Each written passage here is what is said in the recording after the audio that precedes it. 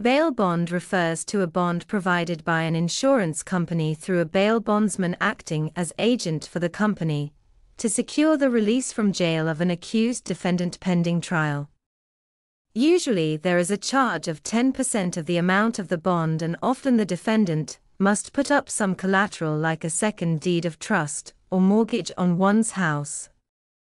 Upon acquittal, conviction, or other conclusion of the case, the bail bond is exonerated and returned to the insurance company. If the person who has been bailed out disappears and does not appear in court, the bond funds will be forfeited unless the defendant is found and returned.